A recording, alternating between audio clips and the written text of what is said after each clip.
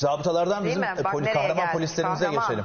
Valla kahraman polislerimiz e, Kahramanmaraş'taydı. Canını ortaya koydu. Hani daha çok böyle Hollywood filmlerinde falan görürüz ya bol bol Amerika işçi. E, kaputta- Aksiyon, aksiyon filmlerinde. Kapu- e, aynen öyle. Ka- e, arabanın kaputuna yapışıyor kahraman Evet, polis.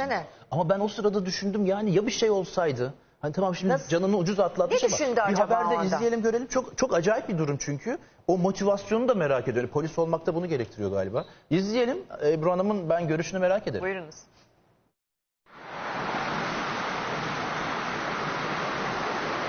Şüpheliler inatçı, polis kararlıydı. Sonunda aksiyon filmlerini aratmayan bu görüntüler yaşandı. Kahramanmaraş'ta silahlı kavgaya karışan bir grup otomobille kaçmaya çalıştı. Ekipler peşlerindeydi. Araç trafik ışıklarında kıstırıldı ama içindekilerin teslim olmaya niyeti yoktu. Gözü kara bir polis aracın kaputuna uzandı, direksiyondaki zanlı gaza basınca bir süre kaputun üstünde gitti.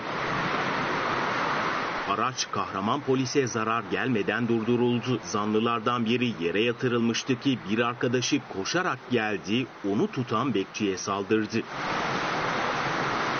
Çıkan arbedede iki polis memuru ve bir bekçi yaralandı. Otomobilden çok sayıda silah çıktı. 1150'şer lira idari para cezası uygulanan 4 şüpheli gözaltına alındı. Polisimiz gerçekten kahraman. Yani kimin aklına gelir? Ya düşünsene arabayı insan gücüyle durdurmaya çalışıyor.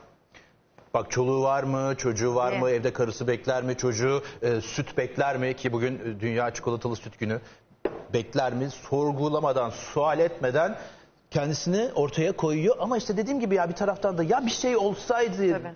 Onu ben çok yani e, tabii ama re- meslek refleksi işte. Meslek refleksi kesinlikle Buradan büyük bir helal olsun kahramanlık diyoruz. yapmış. Helal olsun. Sevgi Sevgilerimizi selam. gönderiyoruz. Saygı bütün duyuyoruz emniyet efendim. güçlerimize, bütün güvenlik güçlerimize ki izliyorlar biliyoruz. Sahada gün içinde nelerle karşılaşıyorlar. Çok fazla şey. Çok fazla karşılaşıyorlar. Özellikle sınır karakollarındaki arkadaşlarımız ilk günden itibaren yazmaya başladılar sağ olsunlar. Buradan olsunlar. bir sevgi selam gönderelim. Gönderelim efendim.